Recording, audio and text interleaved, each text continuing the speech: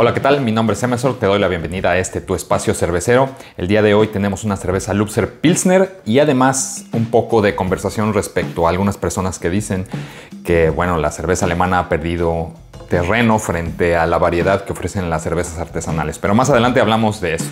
Bien, esta cerveza es una Pilsner muy tradicional alemana que pues bueno se fabrica desde 1877 y eh, está hecha en la región de Mecklenburg, Pomerania Occidental. Eh, tiene 5, perdón, tiene 5, tiene 4.9 grados por, de alcohol por volumen y se debería de tomar entre 4 a 8 grados centígrados. Bien, hay algo que acabo de mencionar en este momento, que es lo que son las cervecerías tradicionales y las cervecerías artesanales y hay una delgada línea entre estas dos en esta controversia. Bueno, en pocas palabras, una cervecería tradicional es aquella que fabrica cerveza con métodos de perfeccionamiento desde hace mucho tiempo. Y bueno, las cervecerías artesanales se caracterizan más por innovar y por presentar nuevas propuestas en el status quo, si es que lo queremos ver de esta manera. Bien, vamos a ver aquí el diseño del envase. Pues verás, es una cerveza de 500 mililitros con, bueno, pues un color eh, café que protege bien a la bebida de los rayos del sol ultravioleta para que no se eche a perder. Y pues aquí al frente, ups, este, presenta pues un faro. Es, un, es una cerveza que se caracteriza por este logotipo en donde trae un, faro. Lupsa Pils y bueno pues es muy sencilla. Color blanco, por aquí algo eh, pues digamos un poco dorado como unas hierbas frescas por ahí.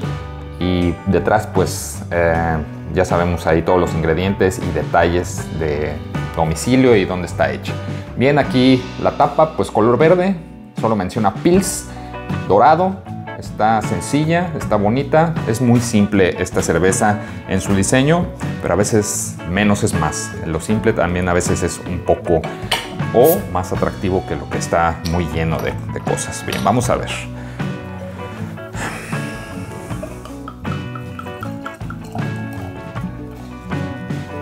Es una cerveza muy limpia, ya se puede ver desde este momento, es una cerveza muy limpia.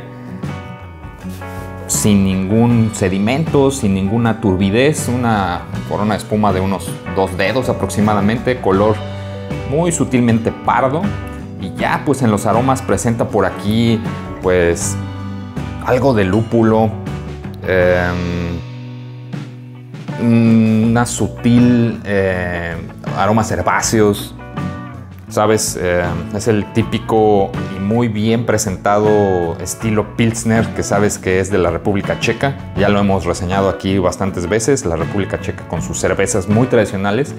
Em, bien, vamos a ver. Post.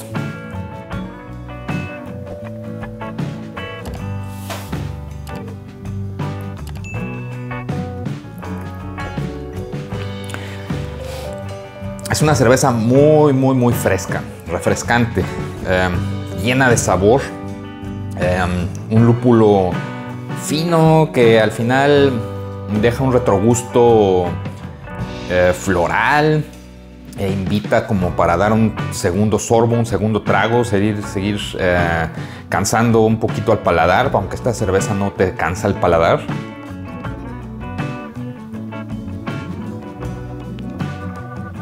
Una cerveza muy fresca, eso es lo que podría decir de esta Lupsa Pils. Es muy agradable. Ese amargor, ese retrogusto final. Eh, e insisto, invita a que, a que sigas explorando el sabor. Es, es, es un amargor y retrogusto medio, de cuerpo ligero a medio. Y puedo decir que es de esas cervezas que se pueden repetir. Porque hay otras cervezas que eh, son un poco más cansadas, tal vez son para ocasiones especiales, en las que tal vez como un degustativo final, como un eh, digestivo, perdón, quise degustativo, estoy sacando esas palabras. Y bien, vamos a hablar ahorita de este tema que tenía eh, al inicio que te mencioné. Bueno, hay una controversia que por ahí surgió en foros cerveceros sobre la poca cantidad de cervezas artesanales que existen en Alemania. Y pues uno podría pensar, ¿no? Este, qué es una cervecería artesanal y qué es una cerveza tradicional, o por qué aquí en Alemania eh, no hay tantas cervezas artesanales. Bien, ahí hay que eh, entrar un poquito en detalle. Eh, en estos detalles de la cervecería artesanal, bueno, son cervezas hechas en, en cantidades pequeñas, en donde no se trata de hacer millones de hectolitros de cerveza. Sin embargo, la eh, línea delgada entre las artesanales, eh, las cervezas artesanales y las cervezas tradicionales, Lubser es un ejemplo de una cerveza tradicional. Por eso quise traerla a reseñar, creo que nunca la había traído, no la recuerdo.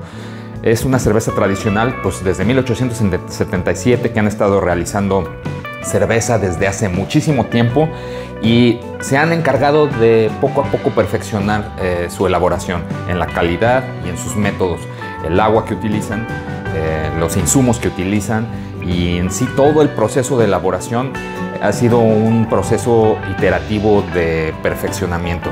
Esto no se puede decir a lo mejor de las cervezas artesanales en donde se experimenta más, se pone más atención en, la propuesta, en lo innovador y es por eso que vemos esta explosión de, pues digamos, uh, sabores, de eh, cosas muy locas, sabores pizza, de cerveza IPA triple sabor eh, frambuesa con tacos casi, este, chipotle, o sea, sí hay este tipo de, de propuestas cerveceras que nunca se va a ver en una cerveza tradicional.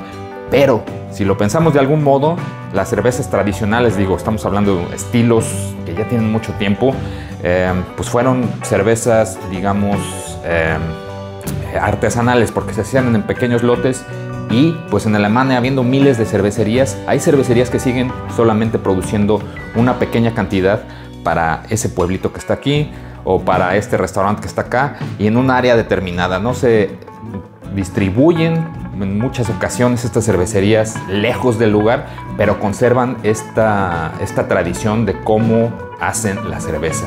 Yo no sé qué piensas tú al respecto de lo que estoy mencionando, déjame en comentarios qué es lo que piensas de estas eh, eh, dos maneras de hacer cerveza, cuál te gusta más, cuál te gusta menos. Si a ti te preguntaran en la vida eh, que vas a beber solamente un estilo de cerveza artesanal, o tradicional, ¿tú con cuál te quedarías? Bueno, esa respuesta no es para mí, yo a lo mejor después ahí comento y digo algo al respecto, pero pues bueno, entre esta combinación de ambos mundos, creo que hay una, unas propuestas muy buenas en lo que es la cerveza. Bien, si has este, llegado hasta este punto del video, pues te invito a que te suscribas, compartas, comentes sobre este tema que traje el día de hoy y actives la campanita para que te lleguen notificaciones de los próximos videos que voy a traer una cerveza interesante la próxima vez. A lo mejor te dejo por ahí un tip ahorita al final del video de qué se va a tratar. Y bueno, visita los canales hermanos que están en la, en la descripción de este video. Nos vemos en la próxima reseña que creo que va a estar interesante. Post.